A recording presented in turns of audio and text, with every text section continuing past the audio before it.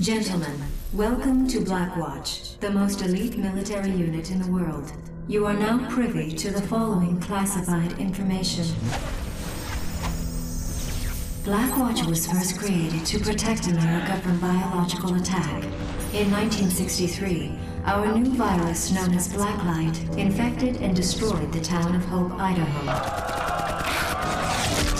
We found and detained only one survivor, Elizabeth Green, or Mother, as we would come to call her. She was an incubator of the virus.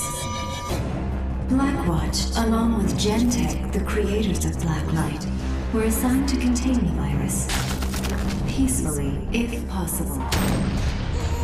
Operations continued until 2008, when a Gentek scientist by the name of Alex Mercer, apparently in a fit of delusional paranoia, stole a vial of the Blacklight virus Put down the vial and back away. and released it.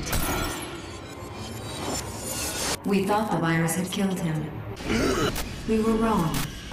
It transformed Mercer, giving him superhuman abilities.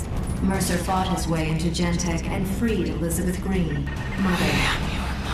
Soon the outbreak encompassed the whole of Manhattan. Nothing we did could contain it. We resorted to a nuclear solution, but Mercer interfered with our objective. He hijacked the nuke and destroyed it over the ocean. We assumed he was dead. Once again, we were wrong. End of initial briefing.